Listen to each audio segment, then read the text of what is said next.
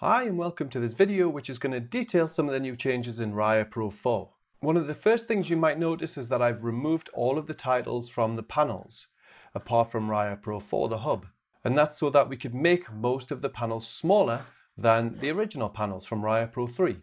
That isn't always the case, like for example in Instamask, that's roughly the same size because I've added a couple of new functions. But overall, most panels are a little bit smaller so that takes up less space on your monitor. Next, in the Raya Pro Hub, I've added a button called Open Stack. And this allows us, if we open it up, to open the files that we want to work with so we can work with multiple files. We can open them and then if they're RAW files, Adobe Camera Raw can open. You can do whatever adjustments you want to do in Adobe Camera Raw.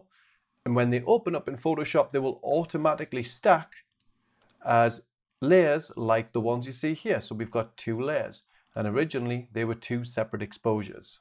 Previously, in Raya Pro 3, we would have to open up the files manually and then press the stack button here. So I've combined those two functions. I've also brought back some previous functions which turned out were very popular. I didn't realize many people used them. So the first one is reveal dust, and this will show you if you have any sensor dust in your image. Now in order to do this, you can't work on a smart object. So you'll have to go to a dodge and burn panel and click on the button that says merge. You see this one here? And that will create a new layer and all you do is press reveal dust. And now when we zoom in, we can see all the sensor dust that was hidden previously. So there's some here in the window, there's some to the right here, and you can see the before and after there. This doesn't reveal the sensor dust for you, you have to do it yourself. So when you've done that, you can delete the reveal sensor dust layer by pressing delete layer up here. And then with this stamped layer, you can simply choose uh, the clone tool or choose the patch tool and select it and remove the dust. I've also brought back the old detail enhance button, which was very popular in Raya Pro 2. Again, I didn't realize that because this is a much slower way of enhancing detail in Photoshop, but it is very effective as well. So they're both in the filters panel. Now with Instamask, I've made things a little bit quicker here. Previously, if we wanted to use luminosity masks, so let me make this dark layer invisible, we would create a mask, let's say Brights 1.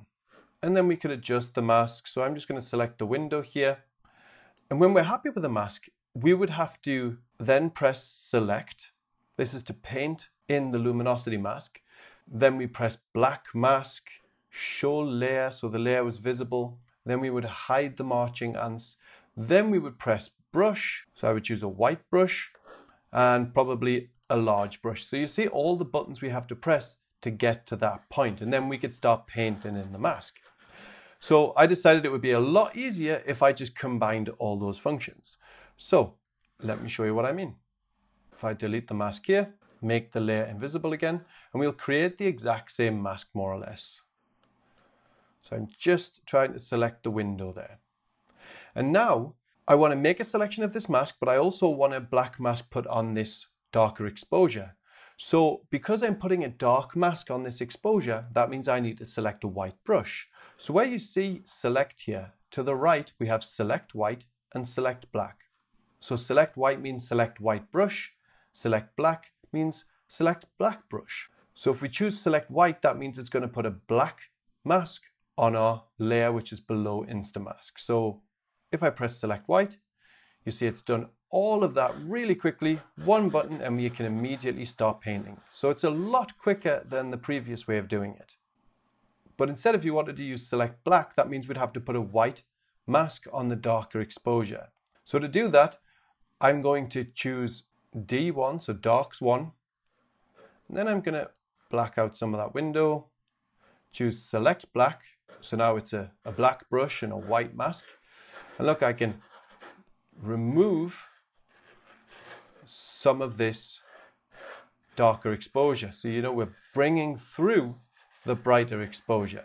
And I can do that a few more times to exaggerate the effect. So you see, we're bringing through the brighter exposure each time. So those are two new useful functions in Instamask. And I also fixed a bug with the live button. So when you're working in Instamask and you want to see how a mask will look, you can press, let's say Brights 1, just as we've done before. refine the mask again, and then we can select the darker exposure because we want to see what this mask looks like when we press live. So we press live now, and now we have a split screen.